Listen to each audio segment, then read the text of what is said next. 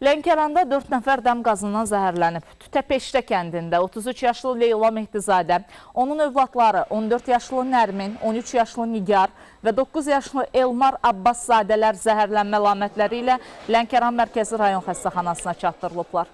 Onlardan üçü reanimasiya şöbəsinə yerləşdirilib və xəstəxanadan bildirilir ki, axşam saatlarında elektrik enerjisi kəsildiyindən ailə evin altındakı generatoru işə salıb. Generatordan çıxan qaz onları zəhərlənib. sehr lieb.